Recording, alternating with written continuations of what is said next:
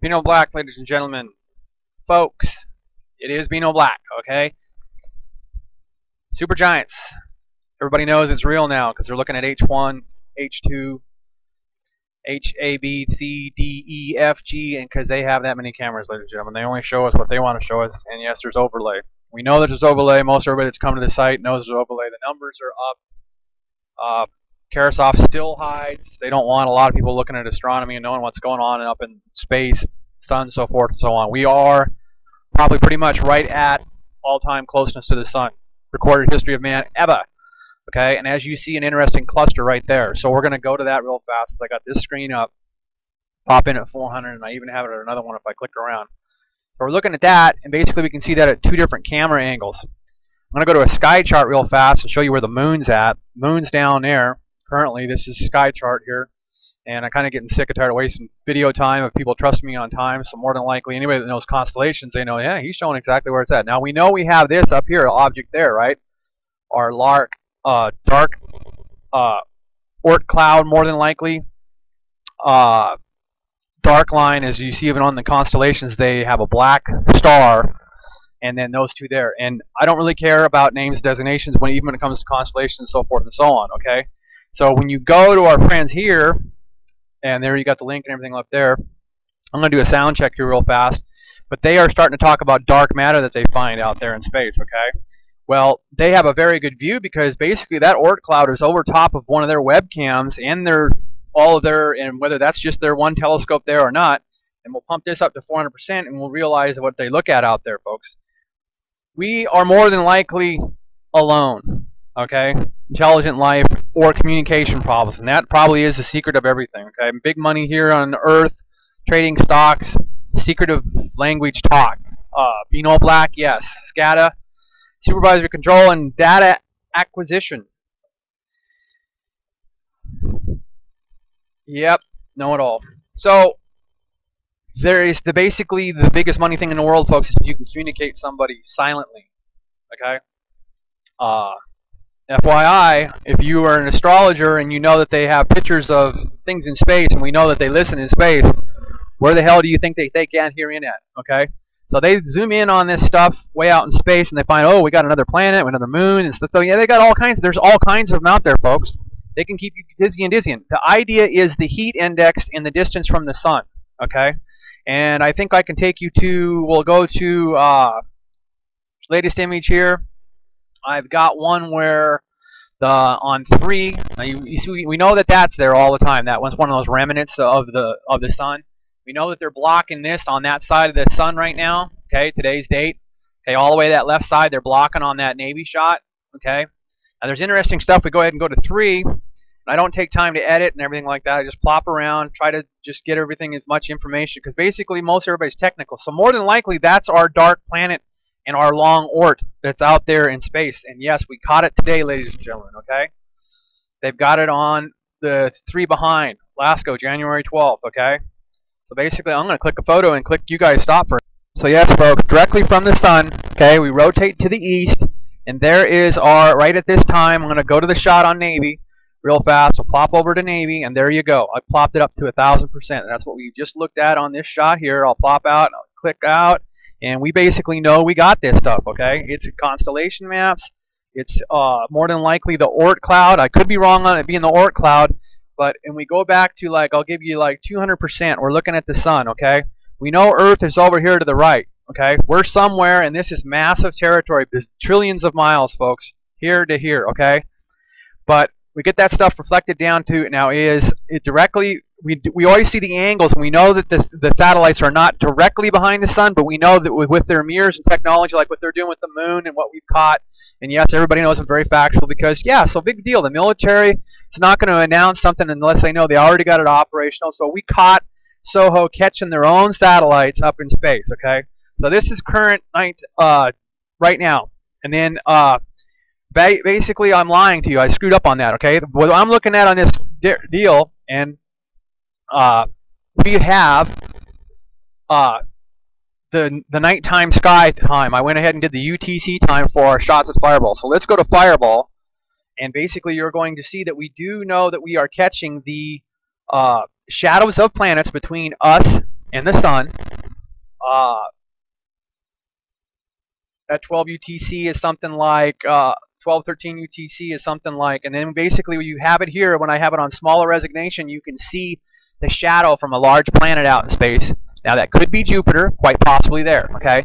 But then you also have that shadow that you can see right there, and we've seen the image in the pictures that I showed earlier when I found it, because I hurried up and threw it up, and I was like, holy crap. And yes, more than likely that's one of the masses. It's one of M45 or so forth and so on.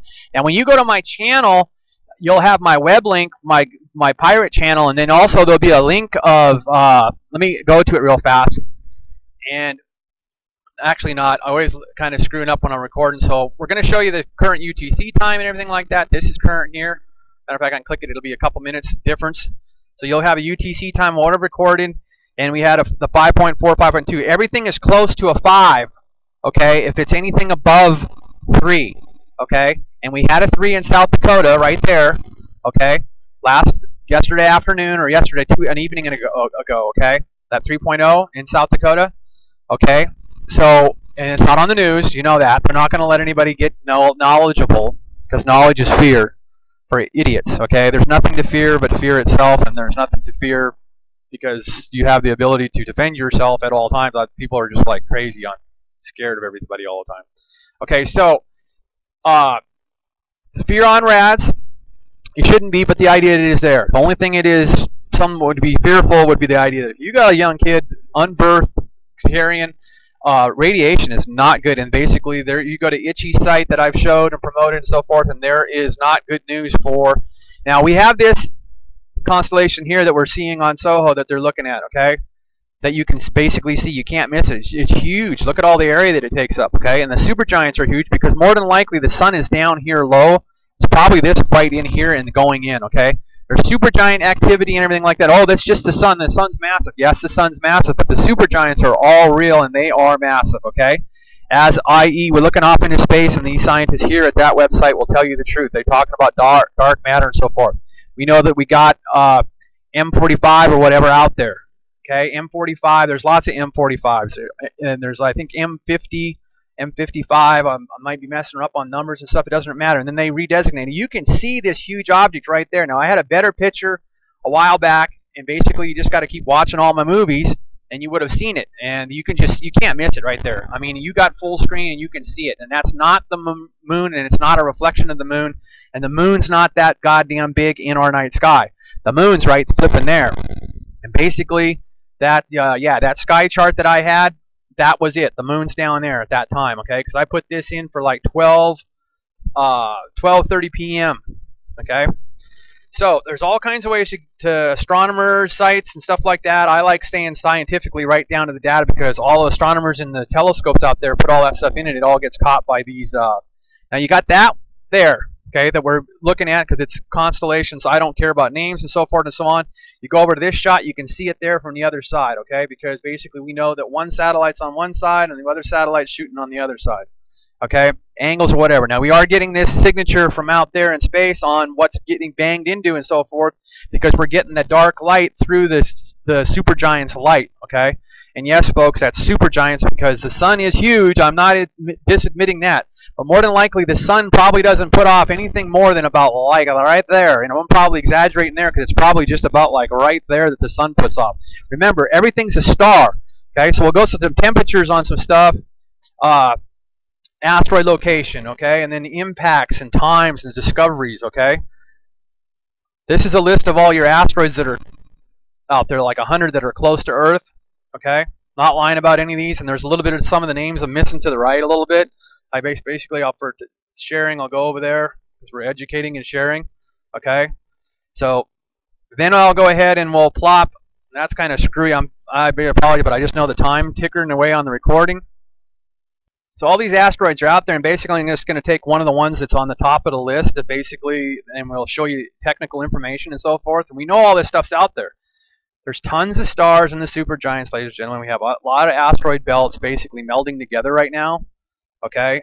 And they don't like you to look at this stuff, even though there's and it's truthful. This stuff is tons of miles away. Look how far the sun is away. The sun's in the well. Mars was way the hell over there, and i.e. going to our basically even not very current map, but the idea that this is probably where everything was sitting.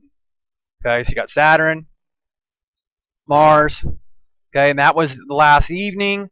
And I think, and no, not this one, folks, but asteroids do hit the Earth all the time, small ones. Now, when a bigger one will hit, we'll let you know more than likely. Okay.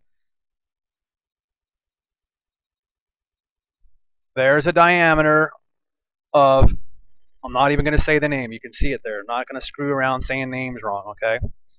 Got the kinetic energy of TNT when it hits the Earth, initial impact diameter, asteroid. This stuff has all hit the Earth before. They even know it, okay? They figured it out scientifically, okay? They can track stuff.